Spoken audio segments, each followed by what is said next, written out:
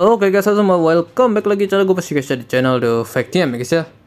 Oke, guys, video kita kali ini gue bakal bahas hal yang cukup menarik banget jadi langsung saja tapi sebelumnya lupa tekan tombol like dan subscribe-nya biar gue sering dapat dari gue pastinya semakin tenang guys ya. Oke guys, di sini gue bakal membahas tentang hal yang cukup menarik banget di mana apakah worth it kalian menggacha seorang Nakuru di recruitment pick up-nya yang sekarang ya guys ya. Jadi langsung saja Uh, pertama di sini untuk rekrutmennya sendiri tinggal dua hari lagi nih sisa ya guys ya. Uh, dan di sini uh, chance up-nya itu adalah Nakuru cuy. Jadi menurut gue apakah ini worth it untuk digacha ya? Uh, jadi gue bisa bilang ini sangat worth it untuk kalian gacha ya.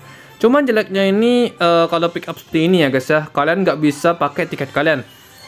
Kalian cuma bisa pakai ruby untuk menggacha karakternya guys ya. Jadi nggak bisa pakai tiket cuy tiket cuma bisa dipakai di all saja jadi nggak bisa dipakai di sini.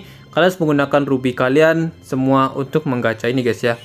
Dan gue ini karakter sangat worth it ya untuk digacha sampai UR bintang berapapun ya sampai merah juga masih sangat worth it.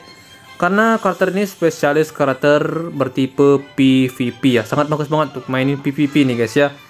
Karena sangat bagus karena bisa ngasih efek skill ultimate yang paling sangat bagus ya. Karena ultimate ini bisa mengurung musuh dalam range yang sangat tinggi banget atau besar banget ya guys. Itu yang bikin karakter ini sangat bagus-bagus banget untuk dipakai buat PvP.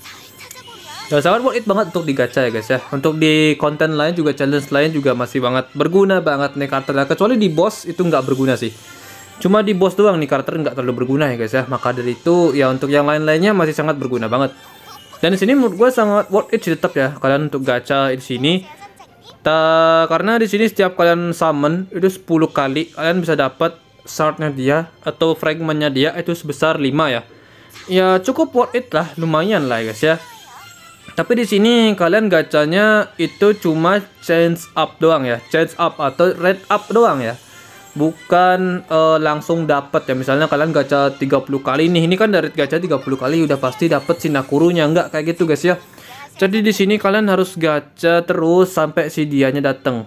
Ke tapi kalau chance chance up-nya sih memang naik, cuman kemungkinan besarnya dapat SSR lain itu masih ada ya. Soalnya ya chance up doang, bukan apa ya?